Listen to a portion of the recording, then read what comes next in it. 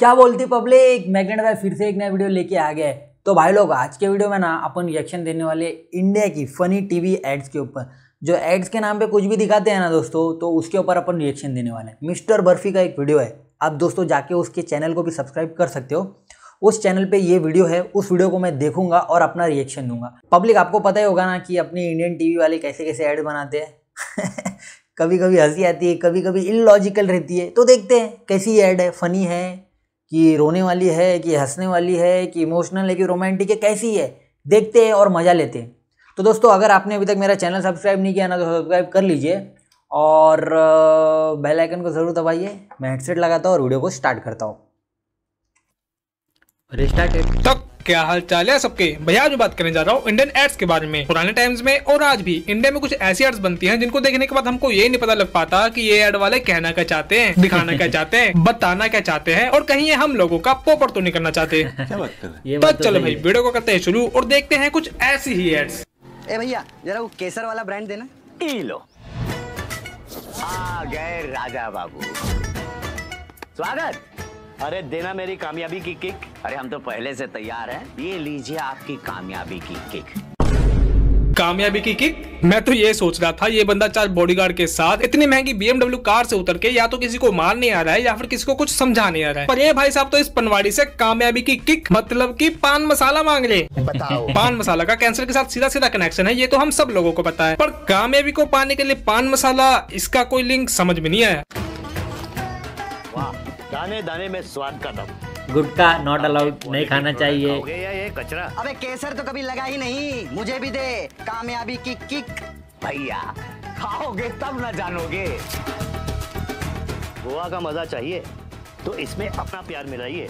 और खाइए। गोवा खाओ कामयाब हो जाओ। और ऊपर से क्या कह रहे हैं? गोवा खाओ कामयाब हो जाओ। भाई साहब मतलब कमाने दमाने की ज़रूरत तो है ही नहीं। पढ़ाई लिखाई की ज़रूरत तो है ही नहीं। बस गोवा पान मसाला खाओ आप अपने आप ही अमीर हो जाओगे। गोवा खाओ मशहूर हो जाओगे। और एक दिन गोवा खाते खाते ही मर जाओगे। सही बात है। और ये दिक्कत सिर्फ़ इसी ब्रांड की नहीं है बल्कि जितने भी पान मसाला बनाने वाली कंपनियाँ है। सबकी यही दिक्कत है। हर कोई अपनी एड में यही कह रहा है हमारा पान मसाला खाओ कामयाब हो जाओ। और ऐसा ही कुछ रजनीगंधा वाले भी कहते हैं।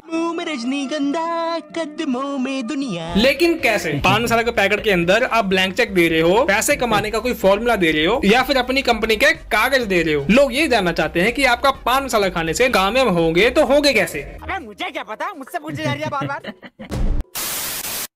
अरे बात तो सही है। सुधा ये तेरे चेहरे को क्या हुआ? क्या हुआ चेहरे को? चाहिए नाइन एक्स नाइन एक्स ओहो! कहाँ से कहाँ तक? चेहरे पे रौनक लाइए। सिर्फ़ नौ सेकंड में। Foreign passport that side ma'am की कह रहे हो जी? हाँ?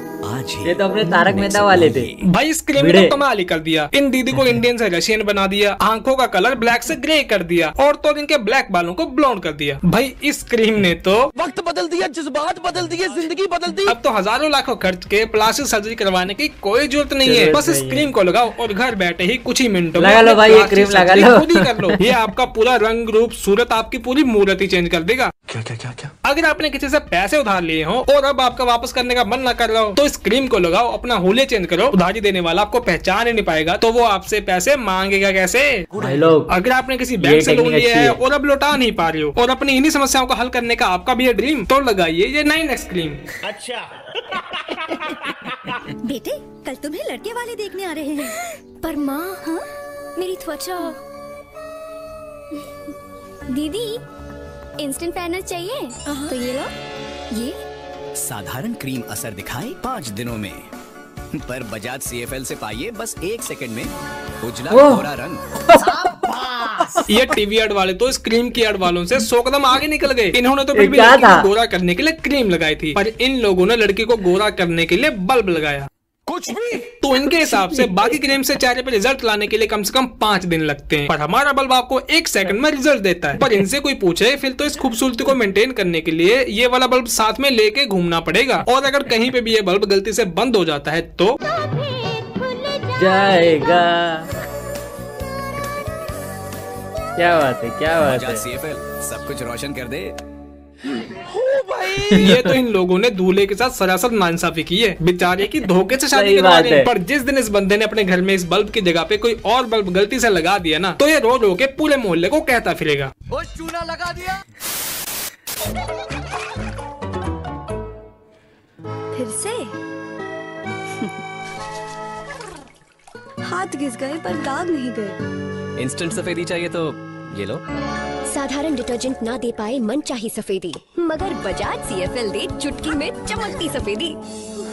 इस एड में तो इन्होंने पहले वाली एड से भी ज़्यादा चूना लगा दिया। पहले वाली एड में तो उन लोगों ने बल्ब को फेयरनेस क्रीम से कंपेयर किया था। पर इन्होंने कंपेयर किया है कपड़े धोने वाले डिटर्जेंट पाउडर से। बच्चे के कपड़े गंदे हों और पाउडर से साफ़ ना हो रहे हों तो बच्चे को बल्ब के नीचे खड़ा करो और एक सेकंड में सफ़ेद कपड़े पाओ। मतलब मज़ाक चल रहा है क्या यहाँ पे? ये बल्ब ना हो गया अलादीन का जिन हो गया जो की कि जादू से किसी भी समस्या का हल कर दे। इस हिसाब से कल को ये लोग कहेंगे की घर में अगर गैस सिलेंडर खत्म हो गया है तो कोई बात नहीं। हमारे बल्ब के ऊपर आप अपना खाना रखो बन जाएगा। नहाने के लिए साबुन की क्या ज़रूरत है? हमारे बल्ब के नीचे खड़े हो जाओ आपका बदन साफ़ हो जाएगा।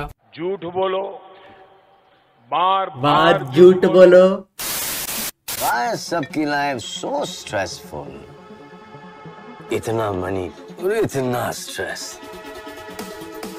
जॉब का स्ट्रेस स्ट्रेस को दो rest step into Bahamas Bahamas चप्पल। Relax, so Bahamas, no stress. Keep chilling. Keep flipping.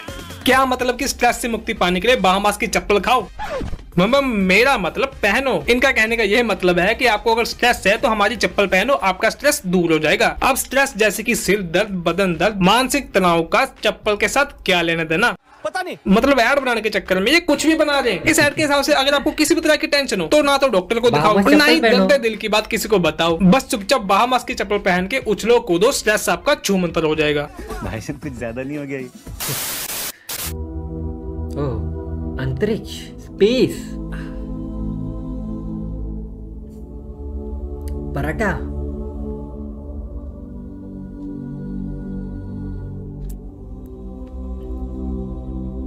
चटनी भी है क्या? क्या अचार है? अचार खत्म?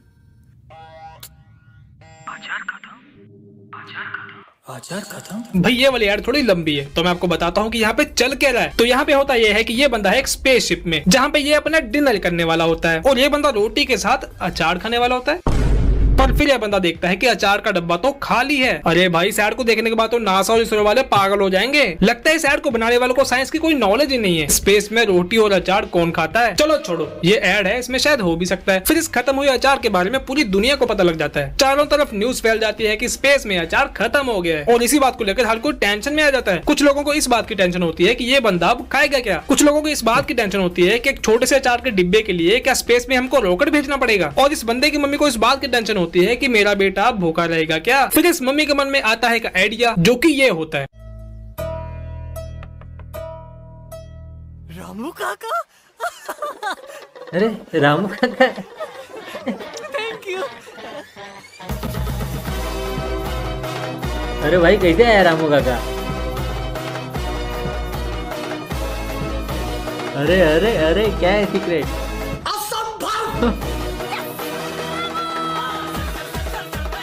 अरे बाबा फ़ैन मतलब साइंस और लॉजिक जाए बाहर की भट्टी में। बस ज़मीन पे तेज रफ्तार वाले पाँच पंखे चला दो ऐसा बवंडर ला दो कि किसी को भी बिना किसी स्पेस सूट के बिना किसी रॉकेट के फ्री में अंतरिक्ष की सैर करा दो। जोगिंदर भाई साहब थोड़ी शर्म करो। आप तो बस कहते ही रह गए इन आंटी जी ने करके भी दिखा दिया। कुछ तो शर्म करो। तो चलो भाई आज के लिए इतना ही। अगर आपको वीडियो अच्छी लगी हो तो लाइक और शेयर का बवंडर ला दो। चैनल को सब्सक्राइब कर दो। अब हम। मिलेंगे अगली वीडियो में।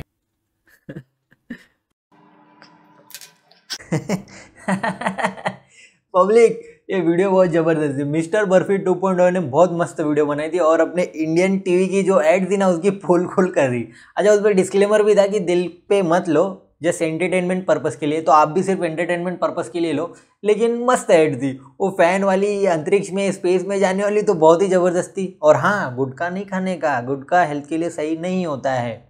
और वो चप्पल चप्पल पहनो और बाहमास का मज़ा लो फ़्लाइट से जाने की ज़रूरत नहीं है, बस चप्पल पहन के मज़ा ले लेने का।